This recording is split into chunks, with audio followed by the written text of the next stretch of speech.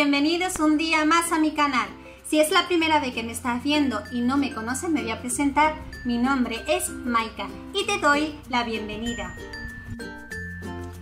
Os voy a enseñar un contorno de ojos de la marca Revuele. Esta marca nunca la había conocido, me, lo aconsejó mi, prima Raquel, que yo sé que ella me, me ve, te mando muchísimos besos, guapa. Este vídeo es para ti. Me lo recomendó ella porque dice que es muy bueno. Yo es un contorno de ojos de aceite de argán.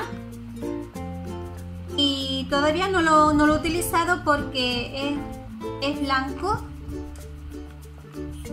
No sé si se ve ahí. Súper cremosito.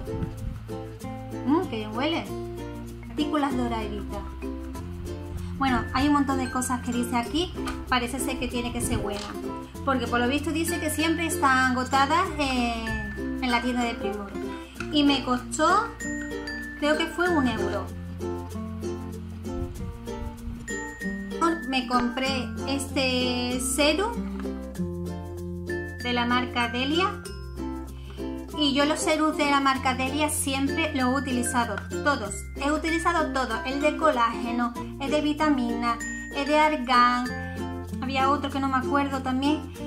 Y este nunca lo había visto, así que lo cogí, que también eh, lleva colágeno y lleva un poco de... de... ¿Por qué utilizo serum? Porque el serum significa que si tú no te echas un serum de serum, el serum lo que hace es que te lo tienes que poner antes de la crema hidratante, sea hidratante, sea la crema mm, regeneradora, sea crema mm, rejuvenecedora, sea la crema que sea, el serum te lo tienes que echar. ¿Por qué? Porque esto lo que hace que potencia la crema que te vayas a echar. Si tú no te echas el serum, la crema que te vayas a echar tiene que esperar por lo menos muchísimas horas para que te hidrate la piel y para que la absorba la piel. Con esto no tarda. Tú te echas el cero, te echas dos o tres gotitas en la palma de tu mano, la calientas bien, te la pones y te das unos golpecitos así como yo hago. Y luego, una vez que ya lo tengas seco, te echas tu crema hidratante, tu crema regeneradora, lo que sea, y eso lo que te va a ayudar es que te hidrate más. Y durante el día pues me he hecho esta y me he hecho mi agua de rosa, porque el agua de rosa y, luego me pongo mi, mi protector solar. Sigo con las compritas que hice en Primo y me compré esta pomada de color taupe para las cejas. La pedí por internet, la página de internet en la foto se veía que era marroncito, pero cuando me llegó en las manos no era marroncito el color, era un color como rubio ceniza. De la marca Revolution Pro. Y no me pegaba con mi tono de, color del cabello. Así que la tengo ahí guardada para mis clientes, ya que maquillo también a gente de afuera y me compré la Mekian Revolution, la Soft Brown de cejas y sí, es mi color. Yo ahora mismo lo llevo puesto y es una martela fija. Te deja los pelitos ahí mm, que lleva un pincelito, perdonadme porque está usado esto para, para corregir y definir con el corrector las cejas y esto para marcar lo que es el color este lápiz para cejas de la marca Wet n Wild que por aquí tiene el pupillón y aquí tiene el color y en verdad no me gusta, no me gustó porque el color es bonito, pero es que cuando me lo pongo en mis cejas se me ve como un verdoso raro. No es un marrón, lo veo como marrón verdoso. Aunque aquí pone que el tono es blonde color rubio, pero a mí no me... Lo que me sale como verde, no lo sé. Así que utilizaré lo que es el pupillón para peinarme las cejas y esto pues ya veré lo que haré para alguna clienta que tenga las cejas rubias. También me compré el W7, el Night Glow Iluminador. Es como una especie de laca de uña, pero no es una laca de uña. Se parece como la laquita de uña. Pero es un iluminador. Ah, también dicen por ahí que aparte de iluminar también sirve como una prebase. Yo todavía no lo he usado como una prebase. Una vez la utilizaré, la mezclaré con, la base de maquillaje o me la pondré antes de la, de la base de maquillaje. Es un color como rosita, así que se ve el color.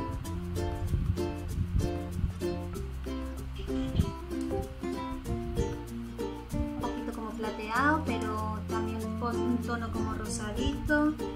Está muy bien. Y soy fan. Y este es alucinante. Pero es que no tiene nada que ver con el otro. Tienes eso sí, hay que echarse poquito porque esto ilumina. Este creo que me costó, no llegaba a los 7 creo. Este ilumina con un poquito nada más que te eche. Mira, mira, mira. Me he echado mucho, pero vamos, para que veáis el brillo. Y aparte noto que no lo deja grasiento, se absorbe muy bien se absorbe muy bien. No sé si veis ahí, pero este no, no lo he usado. Ahí. Puntita de nariz.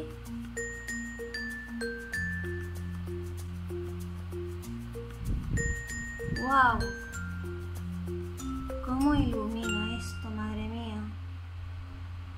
Si lo veis, pero es que...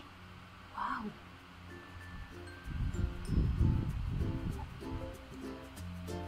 Una pasada, me encanta, me encanta. Luego me compré esta prebase de sombra de la marca S y vi que esta prebase pigmenta muy bien las sombras que te vayas a poner. Yo me la llevo puesta y no la he sellado. No he sellado la, la prebase porque quería saber si pigmentaba bien la sombra. Y realmente pigmenta porque es que mira. Mira como de y es de larga duración. Es así de este color. Es un color como rosita new.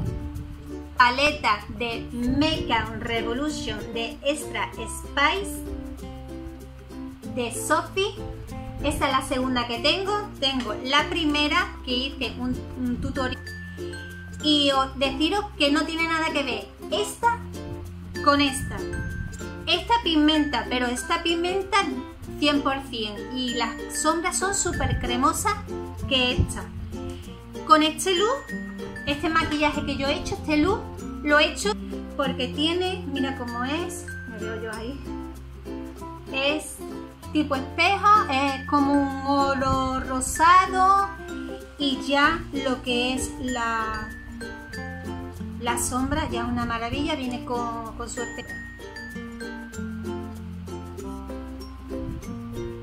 Viene abajo su, su nombre de la sombra. Tiene chisme. Mira la pigmentación que tiene, la que son de chisme por glitter. No sé si es para los ojos también. Me compré la Mini Expert Face Brush. Esta chiquitina. Y la utilizo para todo. De Real Technique. Lo utilizo para la base de maquillaje, para el colorete, para contornearme la cara, para todo. Me compré estas dos. Mm, esta sucilla, bueno, está utilizada porque lo veis, tiene los colores del maquillaje que me he hecho.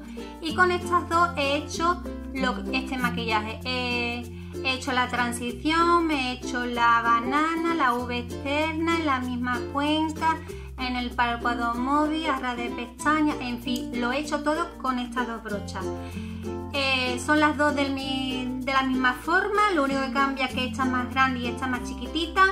Y lo curioso es que tiene diferentes formas, porque esta es la chiquitita, la forma por un lado es así, de lado es como biselada y así es como, como una brocha tipo lengua y esta la he utilizado para marca la V externa, arra de las pestañas, cuando quiero que solamente sea arra de pestañas y no sea la sombra tan gordita, pues la coloco de, esta forma, en vez de así, que así es lo que hace que cubre más. Esta la difumino, también sirve para el corrector, vamos, es multifuncional estas dos brochas. Y es de Real Technique también, se llama 8 Instapop los poros. Esta de Catrice, que es un smoothie refinador invisible para las líneas de expresión y para los poros. Es tal que así, es una cremita color rosita. Y una vez que me pongo esto, antes de la base de maquillaje, pues me lo coloco en la zona donde tengo los poros más abiertos. Eh, y, lo que te ayuda con esto es que la base de maquillaje se deslice mucho mejor. Y ahora sigo con las compritas que hice meses atrás en la tienda Sephora de mi ciudad. Me compré este rellenador de poros de la marca Sephora y es para las líneas de expresión. Es un color como color carne, del mismo color de tu piel. Sí, no sé si se ve. Y esto sí que me costó caro. Así que no lo utilizo mucho lo tengo como guardado como oro en paño. Eh, ¿hace su función? sí. Para las líneas de expresión lo utilizo yo para las líneas de abajo aunque yo no tengo muchas líneas de expresión. Y para los poros también. Y luego me compré dos sombras glitter la tengo vacía porque cuando si te comprabas dos te regalaba una mini paletita de la marca Sephora para que tú puedas colocar aquí y depotar tus sombras y colocarla aquí. Solamente incluye cuatro. Tiene su espejito, todavía no le he quitado el, el plástico y es imantada. Lo que hice es muy sencillo, la sombra venía aquí como he dicho antes y tú la puedes dejarla aquí, se, puede abrir directamente aquí, coge la sombra con el pincel o si la quieres depotar, pues tiene aquí dos pestañitas aquí abajo, no hace falta, la abres aquí abajo y la, y la coges y la colocas directamente en la, en la mini paletita porque ya tiene el imán y esto pues lo puedes llevarlo en el bolso, llevártelo de vacaciones y tal. Está muy bien. Esto me compré en una tienda porque es que a mí me encantan las libretas. A mí me gusta mucho apuntar las cosas y todo lo apunto en un cuaderno para que no se me olvide. Y vi esto en la tienda, el cuaderno que me tiene, mira, qué bonito. Estos son los, mm, las telas, las típicas telas que tú haces así vas formando dibujitos. Y cada vez que... Mira, es que es tan suave. me costó 4 euros. Es una tontería enseñarlo, pero me hizo mucha ilusión mm, de enseñarlo a vosotras porque es que es precioso. Aquí donde punto yo pues todas mis cositas que necesito. Y cuando lo vio mi niño, mi pequeño, pues le encantó. Y se puso todo el día pues a hacer mm, figuritas así con el dedo y es que te relaja, es que es súper suave, es que muy bonito, me ha encantado. Y aquí lo tengo mi tocador eh, con mi bolígrafo, me lo regaló mi marido este color rosa. Y aquí apunto todas mis cositas. Sino que en la página web de, de Primo, este gloss es un gloss transparente y tiene shimmer y huele como a mandarina. Lo tengo puesto ahora mismo, no se nota mucho, pero no es pegajoso tampoco. Y es una, no es una máscara, es una prebase para pestañas. A mí me gusta utilizar antes de las máscaras de pestañas una prebase. ¿Qué es una prebase? Pues igual como la prebase de sombra, igual como la prebase de maquillaje. Esto es lo que te dura más tiempo las pestañas, que esté bien negra y bien tupida y no se te cuare. huele como a mango, papaya y es blanco. Siempre, siempre utilizo una prebase para pestañas, sea la marca que sea, me da igual, porque todas hacen la misma función. Y yo creo que ya está el... Yo creo que lo he enseñado todo. Pues nada, si os ha gustado este vídeo, ya sabéis, dedito arriba, me dais un like, compartir el vídeo y nos vemos en el siguiente vídeo. Adiós y un beso. ¡Chao!